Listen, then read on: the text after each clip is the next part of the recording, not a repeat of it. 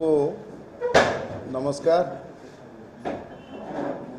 ସବୁ ଗଣମାଧ୍ୟମର ଭାଇମାନଙ୍କୁ ମୁଁ ସ୍ୱାଗତ କରିବି ଆଜି ବିଜୁ ଜନତା ଦଳର ଇଏ ସାମ୍ବାଦିକ ସମ୍ମିଳନୀକୁ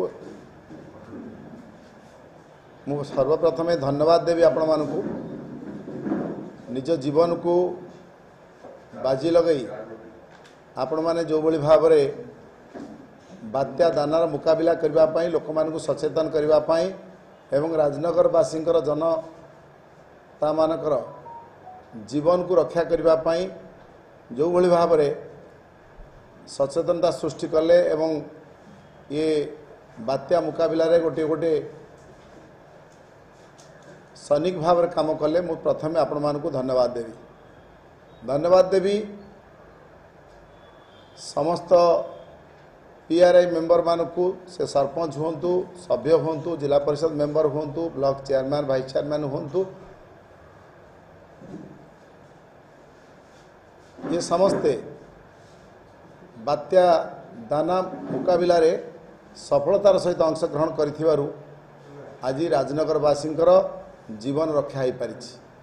ଜିଲ୍ଲା ପ୍ରଶାସନ ଏବଂ ବ୍ଲକ ପ୍ରଶାସନର କର୍ମଚାରୀମାନେ ମଧ୍ୟ ପରିଶ୍ରମ କରି ଏ ବାତ୍ୟା ମୁକାବିଲାରେ ଆଜି ରାଜନଗରବାସୀଙ୍କୁ ସହଯୋଗ କରିଛନ୍ତି ମୁଁ ତାଙ୍କୁ ବି ଧନ୍ୟବାଦ ଦେବି। ଆଜି ଏକ ଗୁରୁତ୍ୱପୂର୍ଣ୍ଣ ପ୍ରସଙ୍ଗରେ ମୁଁ ଆପଣମାନଙ୍କ ଆଗରେ ଉପସ୍ଥାପିତ କରିବାକୁ ଚାହୁଁଛି ବାତ୍ୟା ଛାଡ଼ିବାର ତିନି ଦିନ ହୋଇଗଲାଣି। ଆଜି ପର୍ଯ୍ୟନ୍ତ ସରକାର କୁମ୍ଭକର୍ଣ୍ଣ ନିଦ୍ରାରେ ଶୋଇଛନ୍ତି। ରିଲିଫ୍ ପହଞ୍ଚି ପାରିଲା ନାହିଁ ଲୋକଙ୍କ ପାଖରେ ଲୋକ ରିଲିଫ୍ ସରକାର ଘୋଷଣା କରିନାହାନ୍ତି ରାଜନଗରକୁ ବାତ୍ୟା କ୍ଷୟକ୍ଷତି ଅଞ୍ଚଳ ଭାବରେ ଘୋଷଣା କରିଥିଲେ ବି। ଏ ଅଞ୍ଚଳର ତିନି ଜଣ ଲୋକ ଏ ବାତ୍ୟାରେ ପ୍ରାଣହାନି ଘଟିଛି। ସେମାନଙ୍କ ପାଇଁ କୌଣସି ଆର୍ଥିକ ସହାୟତା ଘୋଷଣା କରାଗଲା ନାହିଁ।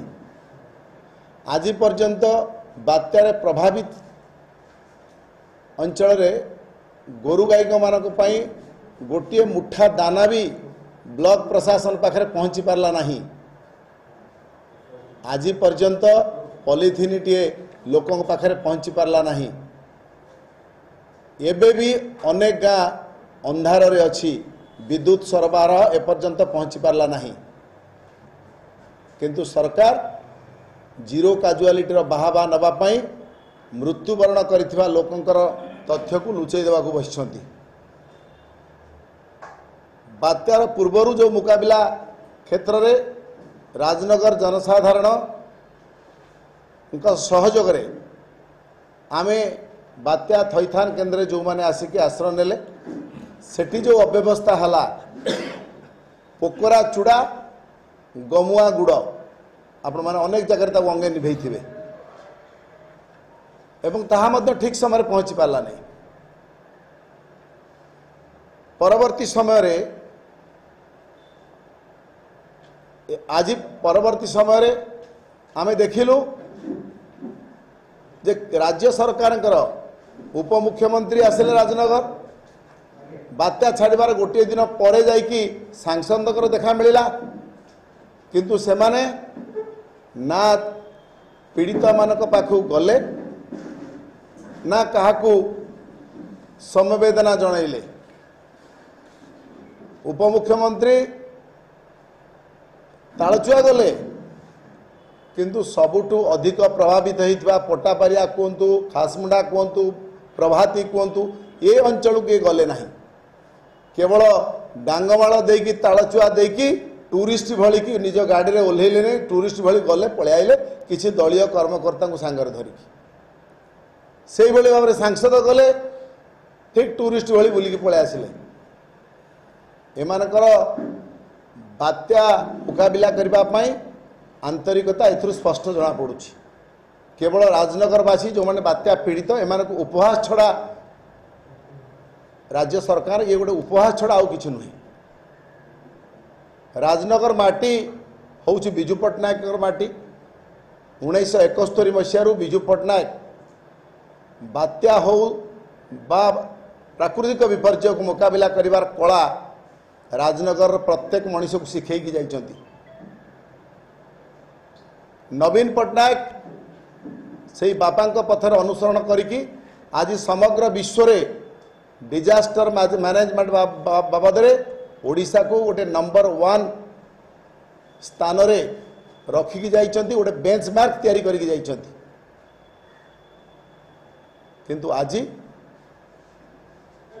ବାତ୍ୟା ଦାନା କିଛି ଜୀବନ ବଞ୍ଚିଗଲା ସିନା ରାଜନଗରବାସୀଙ୍କର ଜୀବିକା ଉଜୁଡ଼ି ଯାଇଛି ହଜାର ହଜାର ଏକର ଧାନ ଫସଲ ନଷ୍ଟ ହୋଇଯାଇଛି ବିରି ଫସଲ ନଷ୍ଟ ହୋଇଯାଇଛି ଗୋରୁ ଗାଈ ମୃତ୍ୟୁବରଣ କରିଛନ୍ତି ଅନେକ ଘର ଭାଙ୍ଗି ଯାଇଛି ଅନେକ ସ୍କୁଲ ଘର ଭାଙ୍ଗି ଯାଇଛି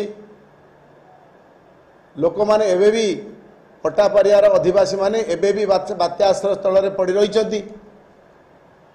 ଏଭଳି ସ୍ତରରେ ରାଜ୍ୟ ସରକାର ରିଲିଫ୍ ଘୋଷଣା କରିନାହାନ୍ତି। ଏବଂ କିଛି ଦଳୀୟ କର୍ମକର୍ତ୍ତାଙ୍କୁ ଧରି ସେମାନେ ଆସିକି ଏଠି ପିକନିକ୍ କଲା ଭଳିଆ ଟୁରିଷ୍ଟ ଭଳିଆ ବୁଲିକି ପଳାଉଛନ୍ତି। ଆଉ ସବୁଠୁ ଦୁଃଖ ଆଉ ପରିତାପର ବିଷୟ ମୁଁ ଆପଣମାନଙ୍କ ଦୃଷ୍ଟି ଆକର୍ଷଣ କରିବାକୁ ଚାହୁଁଛି। ଯେଉଁଦିନ ବାତ୍ୟା ଆସିଲା ଉପମୁଖ୍ୟମନ୍ତ୍ରୀ ଆସି ପହଞ୍ଚିଲେ। କେନ୍ଦ୍ରାପଡ଼ାରେ ଆମ ବିଧାୟକମାନଙ୍କୁ କଲେକ୍ଟର ଗୋଟେ ଚିଠି ଦେଲେ।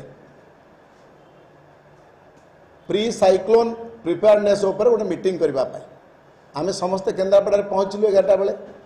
କେନ୍ଦ୍ରାପଡ଼ାରେ ପହଞ୍ଚିଲା ବେଳକୁ ଆମକୁ କୁହାଗଲା ପୁଣି କଲେକ୍ଟର ମୋବାଇଲକୁ सब कलेक्टर मो मोबाइल को ह्वाट्सअप पठेले मीट इज़ क्यानसल्ड आम फेरिकी आसलु कौन ना उपमुख्यमंत्री प्रथम आगे फिल्ड भिजिट करें समीक्षा बैठक ने ठीक अच्छे आम फेरी आसलु तापर दिन देखलु, जे उपमुख्यमंत्री कलेक्टर कन्फरेन्स हल कि भारतीय जनता पार्टी कर्मकर्ता मानक धरिकी समीक्षा बैठक करूँ ସମର୍ଥ ବର୍ମା ଯିଏ ରାଜ୍ୟ ସରକାରଙ୍କ ତରଫରୁ ଅବଜର୍ଭର ଆସିଥିଲେ ଏବଂ ଜିଲ୍ଲାପାଳ ଉପଜିଲ୍ଲାପାଳ ଅନ୍ୟାନ୍ୟ ପଦସ୍ଥ ଅଧିକାରୀଙ୍କୁ ଧରିକି ଦଳୀୟ କର୍ମୀଙ୍କୁ ଧରିକି ସମୀକ୍ଷା କଲେ ଏହା ଇତିହାସରେ କେବେ ହେଇନଥିଲା କାରଣ ପ୍ରତ୍ୟେକ ଦୈବୀ ଦୁର୍ବିପାକରେ ସମସ୍ତଙ୍କର ସହଯୋଗ ସହାୟତାର ଆବଶ୍ୟକତା ସହଯୋଗର ଆବଶ୍ୟକତା ଅଛି ତାକୁ ଦଳୀୟ ଭାବରେ ପରିଚାଳନା କରାଯାଏ ନାହିଁ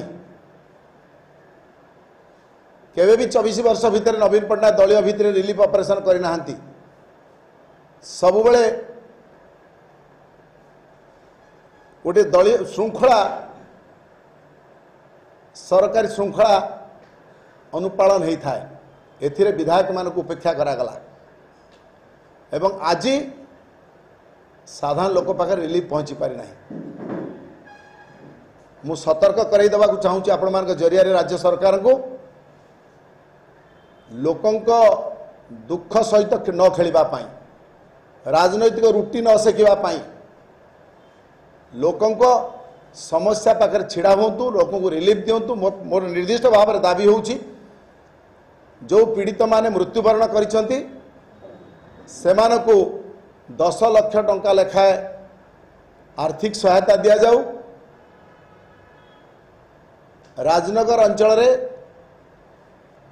ଯେଉଁ ଅଞ୍ଚଳ ପ୍ରଭାବିତ ହେଇଛି ପ୍ରଭାବିତ ଅଞ୍ଚଳରେ ପନ୍ଦର ଦିନର ରିଲିଫ ସରକାର ଘୋଷଣା କରନ୍ତୁ ଧାନ ଏବଂ ବିରି ଯେଉଁ କ୍ଷୟକ୍ଷତି ହେଇଛି ତାର ସଠିକ୍ ସର୍ଭେ ହେଇ କୃଷକମାନଙ୍କୁ ଉପଯୁକ୍ତ କ୍ଷତିପୂରଣ ଦିଆଯାଉ ଯେଉଁମାନଙ୍କର ଘର ଭାଙ୍ଗିଛି ସେମାନଙ୍କୁ ତୁରନ୍ତ ସର୍ଭେ କରି ଇନକ୍ୱାରି କରି ପଲିଥିନ୍ ଏବଂ ଘର ଭଙ୍ଗା ସହାୟତା ପ୍ରଦାନ କରାଯାଉ। ଗୋରୁ ଗୃହପାଳିତ ପଶୁ ଗୋରୁ ଗାଈମାନଙ୍କ ପାଇଁ ତୁରନ୍ତ ଗୋଖାଦ୍ୟ ଯୋଗାଇ ଦିଆଯାଉ। ଯଦି ତୁରନ୍ତ ଏସବୁ ଯୋଗାଇ ନ ଦିଆଯିବ ଆମେ ଚୁପ୍ ହୋଇ ବସିବୁ ନାହିଁ। ବିରୋଧୀ ଦଳ ଭାବରେ ଗୋଟିଏ ଦାୟିତ୍ୱବାନ ବିରୋଧୀ ଦଳ ଭାବରେ ବିଜୁ ଜନତା ଦଳ ରାଜରାସ୍ତାକୁ ଓହ୍ଲାଇବ ଏବଂ ଏ ସରକାରଙ୍କର ରିଲିଫ ପରିଚାଳନାର ସମସ୍ତ ଦୋଷ ତ୍ରୁଟିକୁ ଲୋକଲୋଚନକୁ ଆଣିବ ଏବଂ ନିଶ୍ଚିତ ଭାବରେ ରାଜରାସ୍ତାରେ ଆମ- ଆମେ ଆକୁ ବିରୋଧ କରିବୁ ମୁକାବିଲା କରିବୁ। ମୁଁ ନିବେଦନ କରିବି ରାଜ୍ୟ ସରକାରଙ୍କ ପାଖରେ ମାନ୍ୟବର ମୁଖ୍ୟମନ୍ତ୍ରୀଙ୍କ ପାଖରେ ତୁରନ୍ତ ଏଭଳି ଏକ ଗମ୍ଭୀର ସମସ୍ୟାକୁ ସେ ହୃଦୟଙ୍ଗମ କରନ୍ତୁ ଏବଂ ରାଜନଗର ଅଧିବାସୀମାନଙ୍କ ପାଇଁ ତୁରନ୍ତ ପନ୍ଦର ଦିନର ରିଲିଫ୍ ସେ ଘୋଷଣା କରନ୍ତୁ ଏବଂ ଯେଉଁମାନେ ମୃତ୍ୟୁବରଣ କରିଛନ୍ତି ତାଙ୍କ ପାଇଁ ଦଶ ଲକ୍ଷ ଟଙ୍କା ଲେଖେ ଅନୁକମ୍ପା ସହାୟତା ପ୍ରଦାନ କରନ୍ତୁ। ଗୋରୁ ଗାଈମାନଙ୍କ ପାଇଁ ଗୋଖାଦ୍ୟ ପ୍ରଦାନ କରନ୍ତୁ। ତୁରନ୍ତ ଘର ଭଙ୍ଗା ଏବଂ ଅ, ପଲିଥିନ୍ ଯୋଗାଇ ଦିଅନ୍ତୁ। ଗୋଟିଏ ବାତ୍ୟା ପାଇଁ ଗୋଟେ ତୁରନ୍ତ ପ୍ୟାକେଜ ଘୋଷଣା କରିବା ପାଇଁ ମୁଁ ମାନ୍ୟବର ମୁଖ୍ୟମନ୍ତ୍ରୀଙ୍କ ପାଖରେ ନିବେଦନ ରଖିବି।